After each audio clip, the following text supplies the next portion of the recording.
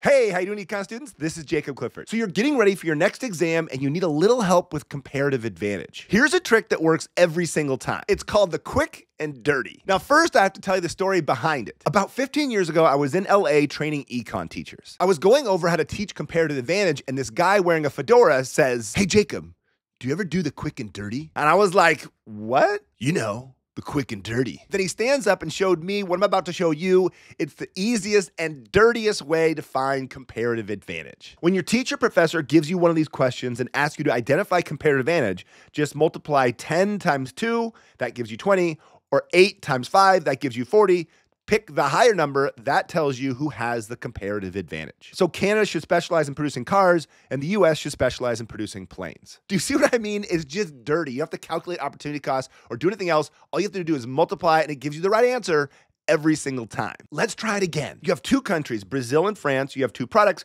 boats and trains. Now, to find comparative advantage, you can use the quick and dirty. 3 times 12 is 36. 4 times 6 is 24. You pick the higher number, 36. Brazil should produce the boats. France should produce the trains. Compared to the longer way of finding comparative advantage, this is way faster, and way easier. It's dirty. In fact, I bet you could find comparative advantage in less than five seconds. So let's do a speed round. Five seconds on the clock. Here we go.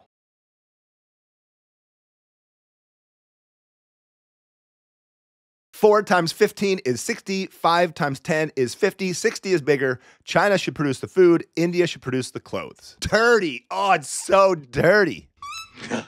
now, notice all these so far have been output questions. For input questions, when they give you the number of hours or number of workers or machines, you can use the same strategy, just pick the lower number. For this one, it says the chart shows the number of hours it takes for each country to produce one car and one plane. This is an input question. 10 times 2 is 20, 8 times 5 is 40. Pick the lower number. Germany should produce the cars, Spain should produce the planes. Dang, it's dirty.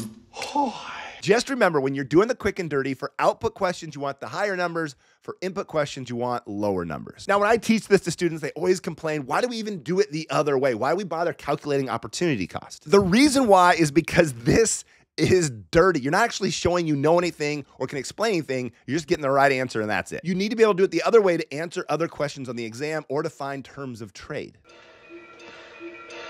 Huh? The point is, think of the quick and dirty as a backup. When you see one of these questions on your exam, answer it the hard way, then go back and double check your answers by using the quick and dirty. Now, if you need more help practicing comparative advantage, take a look at the free practice sheet I have inside my ultimate review packet. And if you need more help finding the terms of trade, take a look at the video I posted on YouTube. And lastly, if this video was helpful, in the comments below, write, hey, thanks, Clifford, for doing the quick and dirty with me. Thanks for watching. Until next time.